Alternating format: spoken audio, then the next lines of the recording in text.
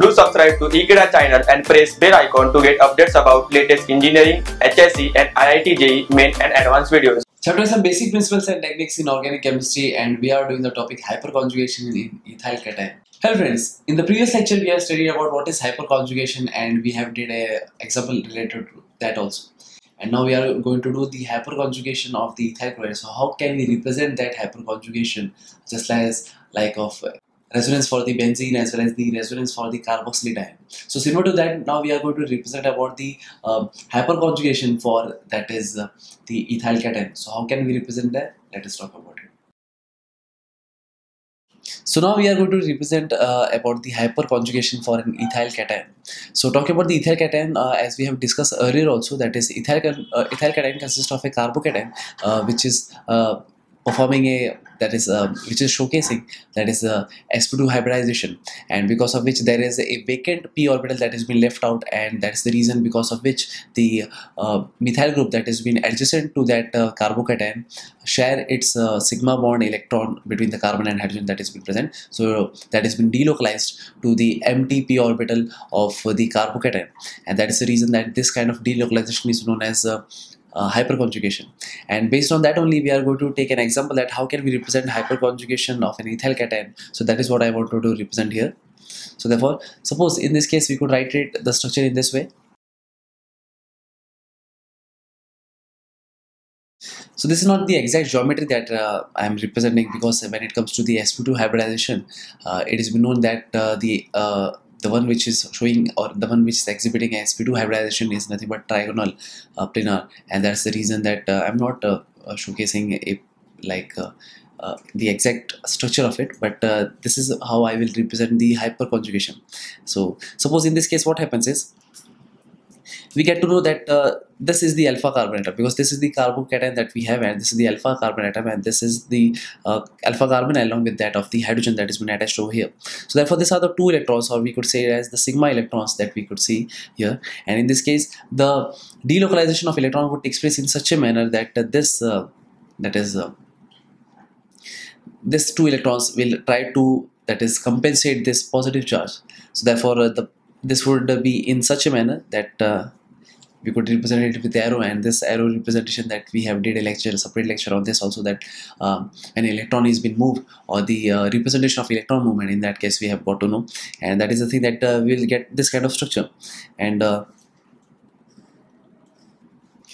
so after the uh, delocalization of this electron so what is been obtained? So again this is uh, similar to that of we would uh, write the symbol that is like that of the resonance. And we will see that uh, this bond are been unaffected and this bond will be here as it is while talking about this bond uh, that is this sigma bond this sigma bond will also be here as it is.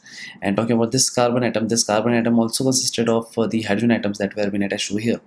But talking about this representation this representation uh, indicates that uh, these two electrons are been shifted uh, between these two carbon atoms over here. So that is the reason that the double bond will be obtained over here and meanwhile the hydrogen has lost its electron so as to form a bond between this carbon and this carbon making the hydrogen to be formed as H plus. So now here you could see there is no bond that is between uh, the carbon and hydrogen and that is the reason it is called as uh, no bond resonance. So this is not uh, yet completely done because uh, we could find uh, more resonating structures also.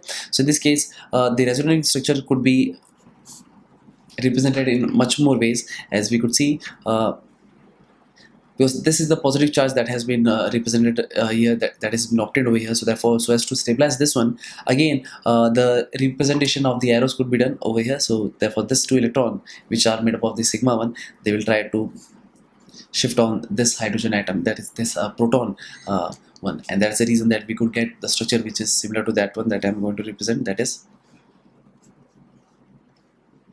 so because this hydrogen has been uh, lost uh, its electron to this uh, hydrogen atom. So therefore this hydrogen atom and this carbon atom will form a bond. And the rest of the thing will be remain as it is. Formation of double bond will be here. And uh, hydrogen is here as well as hydrogen is here. But meanwhile we'll talk about this hydrogen. So this hydrogen is the one which has lost its electron and hence we could say that there is a positive charge that would acquire over here. So this uh, so this is a very stable structure that I would say because uh, there is delocalization of electron and this, this delocalization of electron will go on until it stabilizes all the positive charge uh, that has been present in the ethyl cation and uh, that is a reason that uh, just like similar to that of the resonance we have studied so therefore this delocalization of electron will go on continuing in the whole um, ethyl cation and provided that we have a adjacent carbon atom that consists of uh, that is a sigma bond between carbon and hydrogen. And uh, that is the reason that again a possibility would be there, there where we could see that this two electrons would be shifted on this hydrogen atom over here and making a formation of hydrogen proton that is making the hydrogen uh, which has which is having a positive charge to this one. So therefore we could see uh, that uh, the structure has been converted in this form where the double bond would remain as it is. And here there will be a positive hydrogen atom. So I could write it over here as this one so this is what we have. And again the process will go on continuing by um, removing this uh, this two electrons towards uh, this hydrogen and making this hydrogen this carbon to be again positive. So therefore this kind of uh, that is uh, delocalization will go on continuing. And hence the, we could say that the ethyl cation is more stable.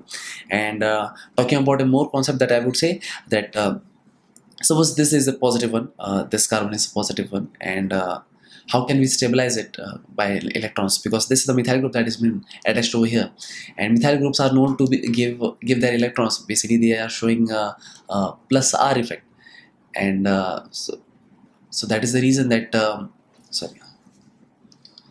So this is CH3 and talking about uh, that how can this would be stabilized? So we know that uh, CH3 or the methyl groups are the one which shows that is uh, plus I effect or they uh, they give their electrons uh, to to the one which um, is uh, which will have a positive charge over here. So that is the reason that even that in that concept also we could say that uh, this ethyl cation is more stable uh, because of the presence of the methyl group that has been present over here. So therefore this ethyl cation makes more stable uh, and in that perspective also and in in terms of the hyperconjugation also we have got to know that the more the uh, structures that have been obtained like this one so we could say that uh, more uh, stable is the particular compound. So therefore we could say that this were the hyperconjugation that i wanted to explain. That's it uh, and thank you friends for watching this video. I hope you have liked this video and you'll share this video with your friends. And yes don't forget to subscribe to the channel. Thank you so much